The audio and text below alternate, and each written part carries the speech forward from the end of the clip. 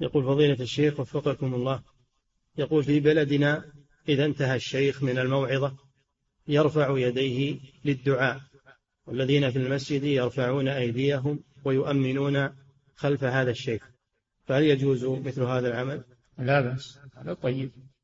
ختام المجلس بالدعاء وتأمين الحاضرين. هذا طيب. نعم.